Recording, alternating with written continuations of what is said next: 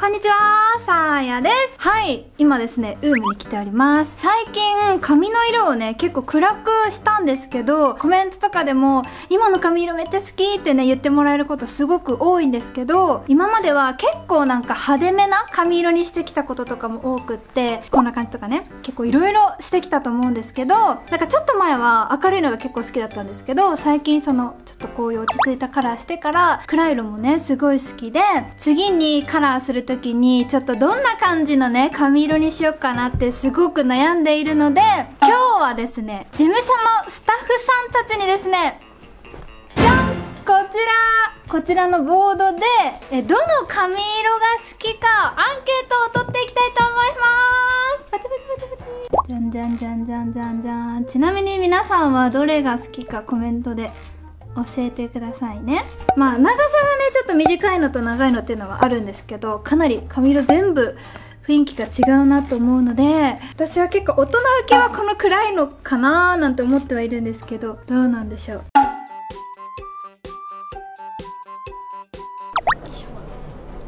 なんでこの写真が髪色がいいと思ってくれました？ちょっとハイトーンのイメージがあって。私もさやさんはハイトーンのイメージだったんですけど暗い髪になってるのもすごい似合ってて。オーソドックスに言うとこれが一番好きなんですよ、うん、だけどもやっぱ最終的にすごい大きいハートでここに行き着く本当に最近のこれがいいなって。でも一番似合ってる気がする。私これが好きです。大きいハートつけます。うわ悩ましい好みですか？好みです。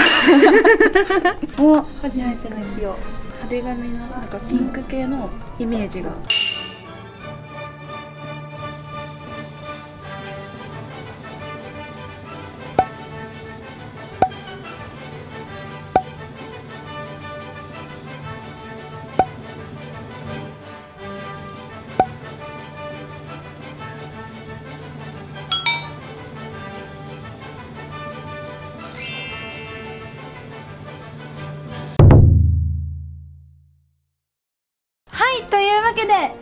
集計が終わりました。私はまだねあの結果を知らないんですけど、えっと、合計で107人の方にえアンケートを取っていただきました。ありがとうございます。はいじゃあ早速ね結果を見ていきたいと思います。さらあ あえダントツじゃない？このハイトーンアッシュ？ちょっと数を数えたいと思います。フラメブラウンが18票ラベンダーアッシュが6票ハイトーンアッシュがダントツの58票ですね。これハートに溢れてます。ミルクティーが8票でピンクが17票でした。ピンク意外とあったのはやっぱピンクのイメージがあるからかななんて思うんですけどこのハイトーンアッシュは私と言ったら明るい髪色みたいなイメージがあるからかな。すごい多いです。びっくり。あんまり人気ないかと思ってたんだ。すごい。このハイトーンアッシュの時は結構ね色落ちが早くてで私の場合なんか結構明るい髪の色にするともうほんとすぐにブリーチした時の金髪に戻っちゃうことが多いんですけどアッシュ系だと特に色落ちが早くってこのハイトーンアッシュだともうほんと1週間ぐらいで色落ちして2週間ぐらい経ったらもうすごい明るくなっちゃっててもともとが明るいっていうのもあるけど結構色落ちがね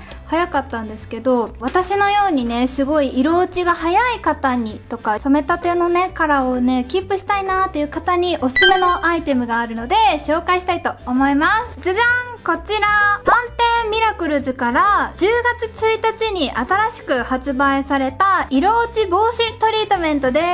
す。こちらピンクで可愛いよね。今暗いけどその落ちやすかったハイトーンのね時のあの私がこれ使ってたらすごい綺麗なの持続できたんだろうなってめっちゃ思うんだけど私も使って3週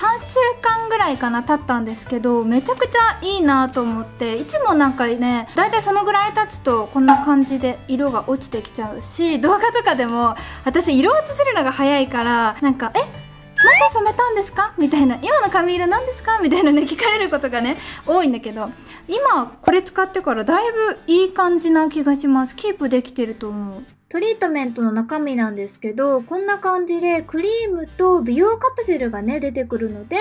混ぜ合わせてカプセルを溶かしてから使っていきます。シャンプー、トリートメントの最後にステップ3として、週に3回ぐらい使うのがおすすめです。で、あの、一足先にね、私は使わせていただいてたんですけど、さっきもね、見ていただいた通り、クリームがね、すごく濃厚なんですよね。この色落ち防止トリートメントした日は、髪の毛がこうしっとりした感じがして、ブラシの通りもいいなっていう風に感じてます。なんかすごい髪の毛がサラツヤみたいな感じに見えません？